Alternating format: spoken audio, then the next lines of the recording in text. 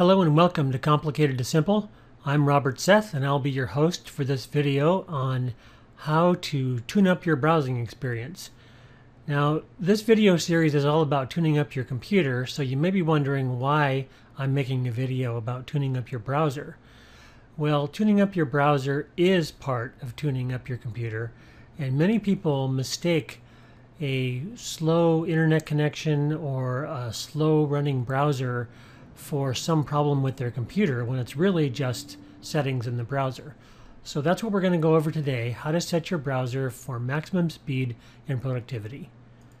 Just a note before we get started, this video is appropriate for Windows XP, Windows Vista, Windows 7, and even Mac because these browsers that we're going to talk about today will work on all those platforms.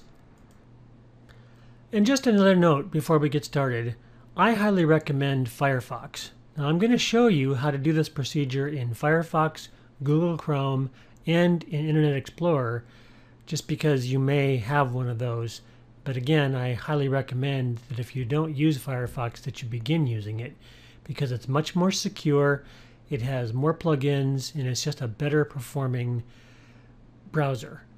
Now, I don't recommend that you take the other ones off your computer if you have them on there because no browser is perfect and it's really a good idea to have more than one browser on your computer so that if for some reason what you're looking at doesn't work very well, say in Firefox, that you can switch to another browser. Okay, so let's get started. There are basically three things you can do to speed up your browsing experience.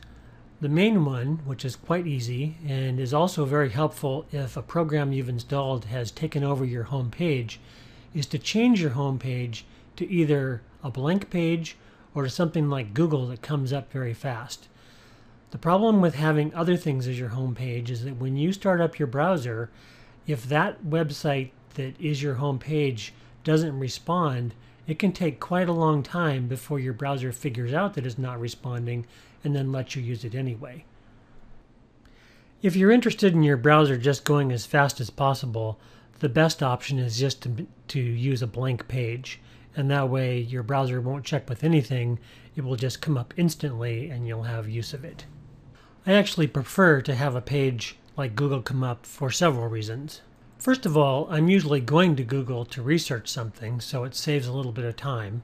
Secondly, especially when I'm at home, I never know if the internet is even up. So it's a very quick way to find out because if Google does come up, then you know that your internet connection is live and you're free to browse. Sometimes I may sacrifice a little bit of speed using this option, but generally Google is very fast and comes up right away, and I think the trade-off is worth it. You'll have to make that decision for yourself, but for now, let me show you how to change these settings. So go up to Tools in your menu on top, click on Options, and in the page that comes up is your options for setting your home page. If you want a blank page, you can just leave this as it is. You have a choice here. You can show your home page, a blank page, or show Windows tabs. Just leave it on blank page if you want to set a blank page. If you want to set a home page, then go ahead and set it to home page. And then down here in the home page field, you can type in whatever you want. So if I want to start on Google every time, I just type in www.google.com say OK, and then whenever I click on Home, then Google's going to come up as my home page. It will also come up each time you start your browser. Next we'll do Internet Explorer. So in order to change the Internet Explorer, go again to Tools, and then to Internet Options. And again, the first place you'll come up to is the home page screen. So if you want to use a blank page, just click on Use Blank Page and it'll go to blank. Or if you want to have a home page, you can click on Use Current and then again you just type in here what home page you want and that's what will come up every time. And like I said, this is very valuable because a lot of programs that you install will try to change your home page to go to their site. Or sometimes you'll download something on accident that isn't good for your computer and it'll try and take over your home page, this is where you go to change it back. Be sure to click apply and OK so that your settings take effect. Lastly, I'll show you how to do this in Google Chrome. So let's bring that up. To change this in Chrome, go to the little wrench up in the right hand corner of your screen and select Settings. After you click on the wrench, select Settings. And this will bring you up to your options screen. Go to the Appearance area. And if you want to make sure that your home button is accessible all the time, so no matter where you are in your browsing, you can get to it, make sure that this Show Home button is checked, and that will put the little home up here on your screen so you can get to it easily. To change your home page, go to Change right here, and this is where you type in what you want it to be. If you want it to be blank, you'll have to type in about colon blank because Google Chrome does not give you this option. If you want to change it to anything else, just do what we did before. Change it to Google and then and say OK. And then from now on, when you click on Home, Google will come up. It will also come up each time you start your browser. The second thing you can do to help your browsing experience go faster is to actually clean up all the temporary stuff that the browser itself stores each time you go on the internet. Every time you get on your browser, unless you're in private browsing, everything you do is recorded someplace on your computer. So the history of where you went, most pages that you visit are saved so that the next time you go to that page, it brings up the page that's saved rather than the actual page on the internet, so it goes faster. When you log in somewhere, that login is saved. Um, everything is saved. And the problem is that that saved information can start taking up a tremendous amount of space on the order of gigabytes. And your computer's always looking at this and going through it whenever you're browsing. So if you have a lot of information stored there, every time you want to go somewhere or do something in your browser, it's going to search through that and really slow your experience down. Fortunately, most browsers give you tools to clean up all this saved information so that you can streamline your browser and decrease the workload on it. So let me show you where those tools are. Again, we'll start with Firefox. And if you go up to your menu items on top, go to Tools again, and then go to Clear Recent History, and you'll be presented with a page that will have all your options for cleaning up your browser. So you can also do this for a period of time. So if you say um, somebody gets on your browser or on your computer and they're one of these people that can visit 200 websites in 20 minutes and you just have this ton of stuff on your browser that you're never going to use and you don't need it. You can say okay i want to clean up everything for the last hour two hours four hours today whatever. So that's an easy way to do it too. But if you're not going to do that if you want to clean up things that you've put on there are some things to, to watch out for here and by the way, if your list doesn't show up here, then just click on details and it will come back. Now let's go through these items so that you delete the things that you need to delete and don't delete things that might be useful to you.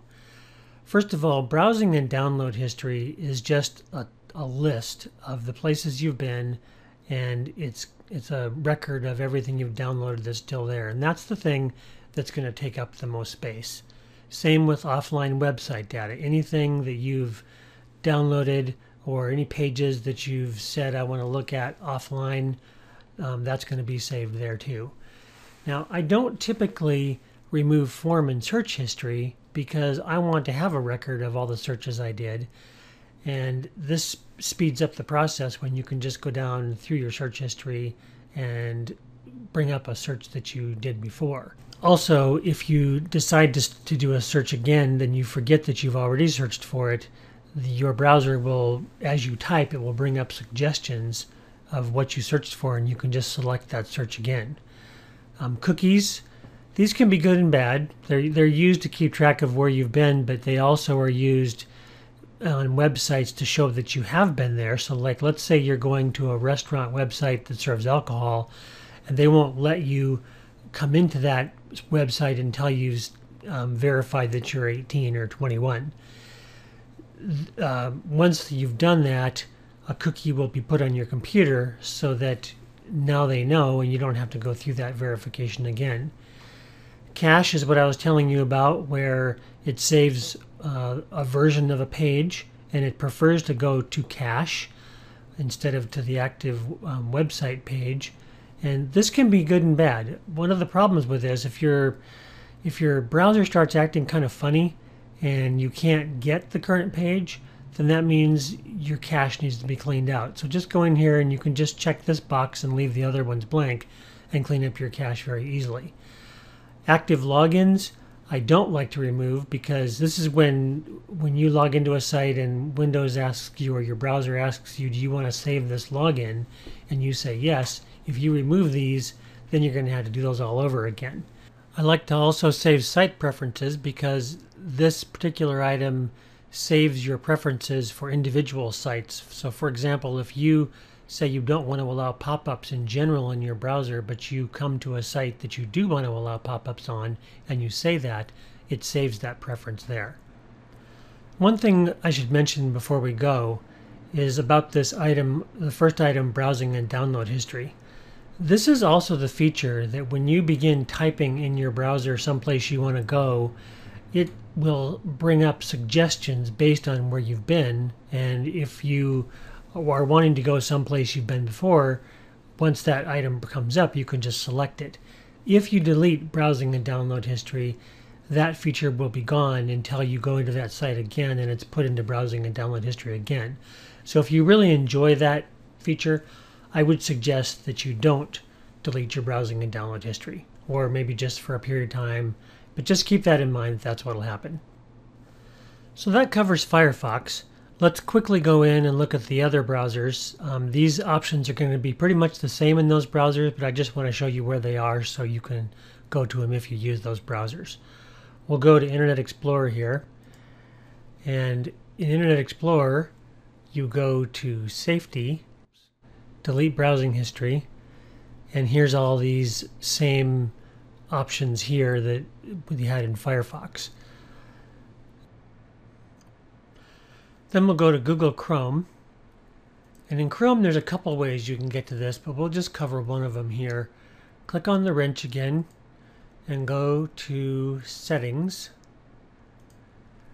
And then go and up here to History. And you'll see your history. Now, I don't use Chrome much. That's why I don't have much history in here. But to uh, go to the screens you've seen in the other browsers, click on clear all browsing data. Don't worry, it won't clear it. It just goes to the options screen of what you want to clear. So this brings up your options screen and you can select all the things that we did on the other browsers. Another thing that can really slow down your browser as well as your computer in general is Windows updates. In a previous video, I told you about how programs that run in the background and are constantly checking for updates and that kind of thing can really slow your computer down, and I showed you how to stop those from loading up automatically when Windows starts. Well, the problem with Windows Update is it doesn't give you the option in that particular place. You have to go somewhere else to adjust how Windows goes and looks for its updates. So let's go see where that is and what we can do about it. So to get there, go to your Windows Start button, click on it, and in the search box, type in Windows Update, and it'll give you that selection up on top and click there. This is where Windows shows you all about the updates that it wants to install for Windows itself. So where the tab that we're interested in is going to be here where we want to change settings. And you have several choices here. You can install updates automatically, which is what Windows chooses as a default. You can download updates and then choose whether to install them. You can check for updates, but then it lets you choose when to download and to install them. Or you can never check for updates. Now, anytime you have any of these top three checked, Windows is going to, on a regular basis, go check for updates. This is going to cause your internet connection to be very busy, slow down your browsing, and can slow down the rest of your computer too. It can also cause a lot of interruptions while Windows pops up screens in the middle of what you're doing asking you if you want to download these updates it's found or if you want to install these updates as downloaded. So this can become a pretty important issue, especially if you're using programs that are going to be adversely affected by this kind of interruption. So depending on the degree of interruption that you don't want to have to experience, you can change this to whatever you like. Another thing you can do is if you go and say install updates automatically, you can choose what time of day, or if you don't want it every day, you can choose, you know, however you want to do this according to this. But if you set it for a time of day that you're not typically using your computer, then you can have it not interrupt you. Problem is, if, if you don't have your computer on when you're not using it, then that obviously won't work. So I would recommend that you if you're doing something critical, just have it just set this to never check for updates. And then when you're done, go back in and change it to something like check for updates, but let me choose whether to download or install them, and that will be the minimal amount of interruption to your work. Um, if you choose to um, download the updates and then um, ask if you want to install them like this, then your internet connection is going to be very busy downloading very large updates, and this can make your browsing seem like it's just standing still. And of course, installing updates automatically involves not only downloading these updates on a regular basis, but also it'll just start installing them when it wants to or when you have it set here. And if you're in the middle of something, it can be really annoying. It can pop up and say, okay, updates have been installed. You need to restart your computer now, you know, and you could be in the middle of something very important. So there you have it. I hope you've enjoyed this video and that you've learned a lot.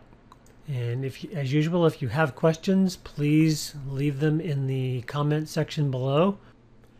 I really encourage this because not only will it help you to learn more, but other people will learn from your questions and the answers to those questions and it will allow me to improve these recordings and my products and trainings more and more the more I know what your needs are. So thank you for watching, and I'll see you next time.